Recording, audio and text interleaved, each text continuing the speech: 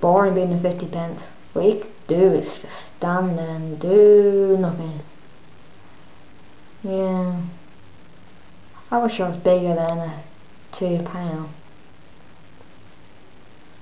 Hmm. So bored. Oh well. Bye.